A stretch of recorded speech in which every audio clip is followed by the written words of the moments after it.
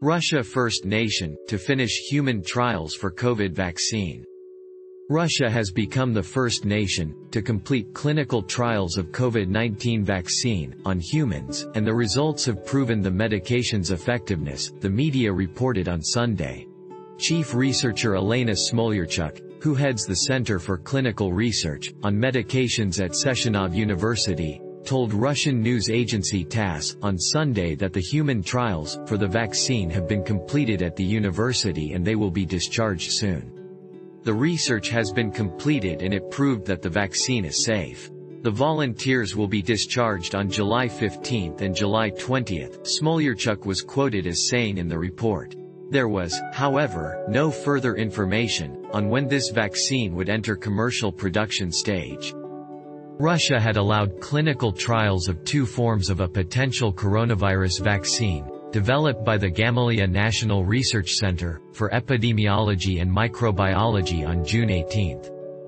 The first vaccine, in the form of a solution for intramuscular administration, was carried out at the Burdenko Military Hospital.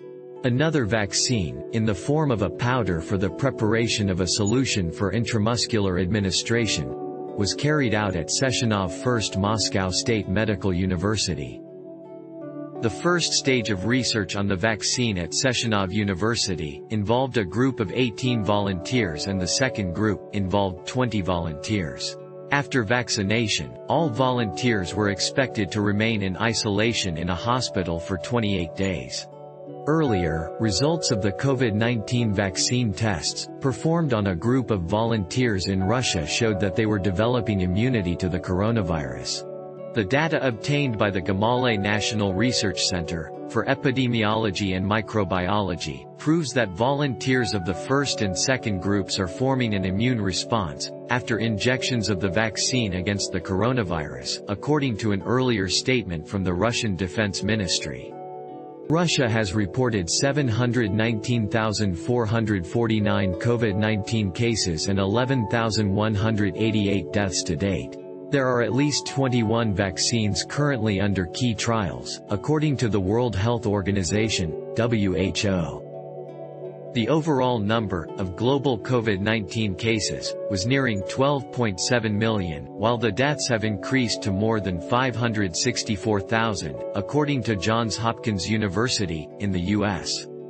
As of Sunday morning, the total number of cases stood at 12,681,472, while the fatalities rose to 564,420. The U.S. accounted for the world's highest number of infections and fatalities at 3,245,158 and 134,764.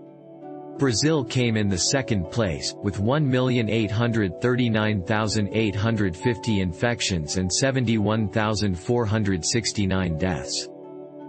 Thanks for watching. Please do like, share, and subscribe.